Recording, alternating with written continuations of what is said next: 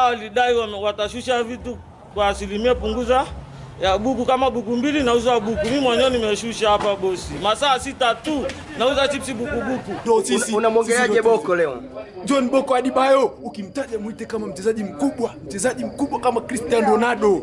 Huyo Pale kati yani tumemwona hadi waziri mkuu, yani ndio maana wachezaji walikuwa wanaamsha amsha. Ari wawili pale wamenifurahisha, Mudasiri na mwenzake yule wamepiga mpira mkubwa.